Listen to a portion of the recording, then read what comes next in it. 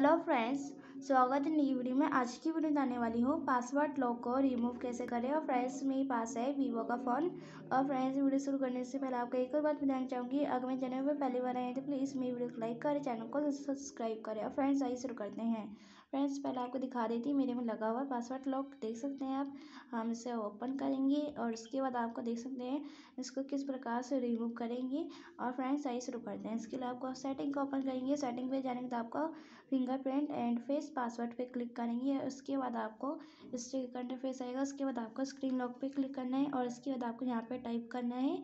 और जो भी आपने डाल रखे पासवर्ड और उसके बाद आपको मतलब कि इसको रिमूव करने के लिए पासवर्ड को तो आपको कोई और लॉक लगाना होगा, तब आपका रिमूव हो जाएगा पहले वाला लॉक तो फ्रेंड्स आप कोई सा भी लॉक लगाते हैं तो आपको इस तरह फेस आएगा आपको मतलब कि एक लॉक को हटाने के लिए दूसरा लॉक लगाना होगा पहले वाला लॉक हटाने के लिए। तो हम नॉन पर क्लिक करेंगे नॉन पे कोई लॉक नहीं होता फ्रेंड्स और फ्रेंड्स होम करेंगे स्क्रीन ऑफ़ करेंगे, इसके बाद देख सकते हैं किस प्रकार से आप अपने फ़ोन में पासवर्ड लॉक को रिमूव कर सकते हैं।